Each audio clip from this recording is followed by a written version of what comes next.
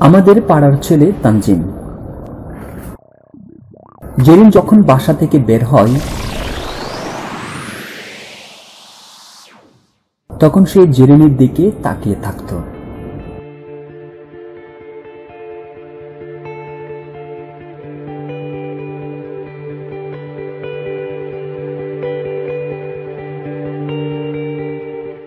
জেরিনের বাসার সামনে রাস্তায় দাঁড়িয়ে থাকা যেন তার মৃত্যুদিনের কাজ। সঙ্গে তার বন্ধু রোমেন। এভাবে চলে দিনের পর দিন। বিষয়টি জেরিনকে ভাবিয়ে তুলে। কলেজ প্রাঙ্গণে চিন্তামগ্ন জেরিন ভাবে কি করা যায়? তার চারদিকে অন্ধকার ঘনিয়ে আসছিল। একদিন বাহির থেকে বাড়িতে ফিরছিল জেরিন।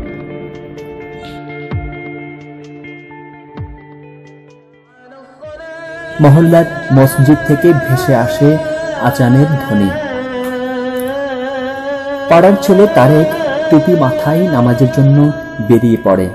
কিন্তু তখনও মোবাইল হাতে রাস্তার ধারে অপেক্ষমান। বিষয়টি লক্ষ্য করে জেরিন। কিছু না বলেই বাড়ির দিকে রওনা হয় সে।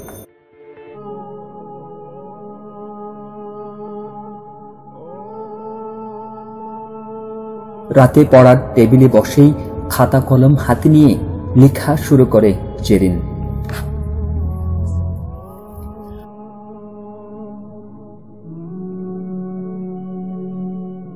পরদিন বাসা থেকে বের হতেই চোখে পড়ে তানজিমকে। আজ সে বাসার আরও কাছাকাছি এসে দাঁড়িয়েছে।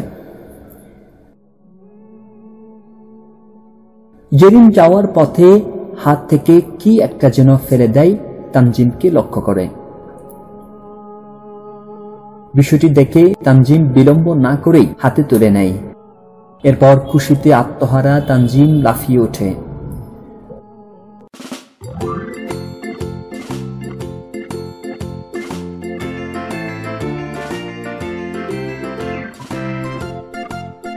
তুঝে